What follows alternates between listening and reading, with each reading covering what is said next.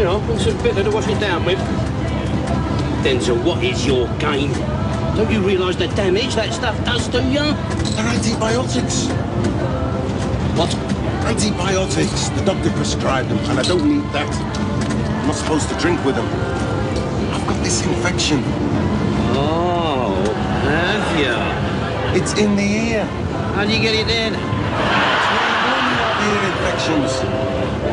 Oh.